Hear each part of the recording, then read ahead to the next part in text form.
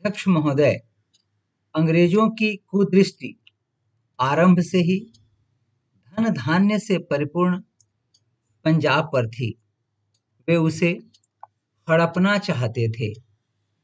परंतु सिखों के बढ़ते प्रभाव से भी वे भली भांति परिचित थे। अतः वे अवसर की प्रतीक्षा कर रहे थे। पठानों से युद्ध के बाद सिखों को कमज़ोर समझकर अंततः उन्होंने पंजाब पर आक्रमण कर दिया। लेकिन सिखों की शक्ति का गलत आकलन करके उन्होंने भारी भूल की थी। सिखों के रहते पंजाब को जीतना अंग्रेज़ों के लिए असंभव था। महाराजा रणजीत सिंह के नेतृत्व में खालसा सरदारों ने अंग्रेज़ों को नाकों चने चबाने के लिए विवश कर दिया था पैरा। सरदार अर्जुन सिंह, महान खालसा सरदारों के वंशज थे।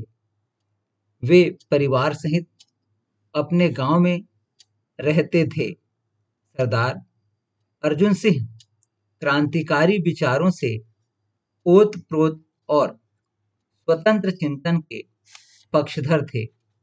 देशभक्ति और वीरता का गुण उन्हें विरासत में मिला था।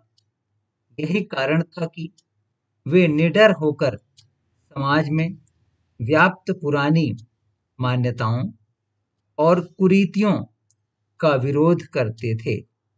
उनका कहना था कि संसार में मनुष्य की पहचान, उसकी धार्मिक, सामाजिक या आर्थिक स्थिति से नहीं, अपितु उसके सत्कर्मी गुणों से होनी चाहिए।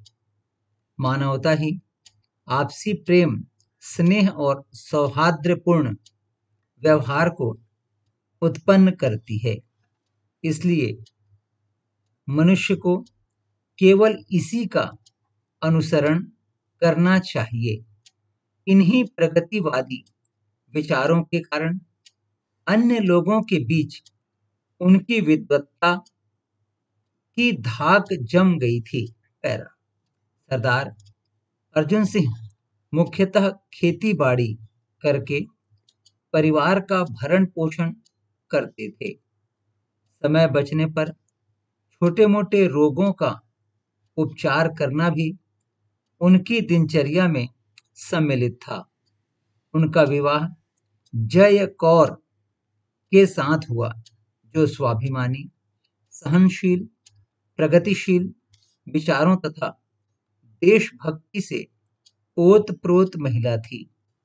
पति की भांति उनमें भी राष्ट्र के लिए सर्वस्व न्योछावर करने की भावना कूट कूट कर भरी हुई थी। इसी प्रकार दोनों पति पत्नी एक दूसरे के पूरक बनकर राष्ट्र सेवा में लीन थे। विवाह के बाद जय कौर ने तीनों पुत्र सरदार किशन सिंह, सरदार अजीत सिंह और सरदार स्वर्ण सिंह को जन्म दिया। यह ईश्वरीय वरदान ही था कि तीनों बालकों में पिता के सद्गुणों का यथोचित समावेश था। निर्भीकता, स्पष्टवादिता, मानवता और देशभक्ति विरासत में मिली थी। यद्यपि तत्कालीन समाज से अनेक कुरीतियाँ विदा ले चुकी थीं, लेकिन फिर भी ऐसी अनेक सामाजिक मान्यताएँ एवं रीति रिवाज प्रचलित थी, जिनसे समाज का प्रत्येक वर्ग त्रस्त था। ऐसे समय में स्वामी दयानंद सरस्वती ने समाज उत्थान के उद्देश्य से आर्य समाज की स्थापना की। प्राचीन काल से प्रचलित सामाजिक बुराइयों को समाप्त कर, समाज को उनसे उबारना ही इसका लक्ष्य था। सरदार अर्जुन सिंह प्रारंभ से ही आर्य समाज की नीतियों एवं कार्यों से अत्यंत प्रभावित थे।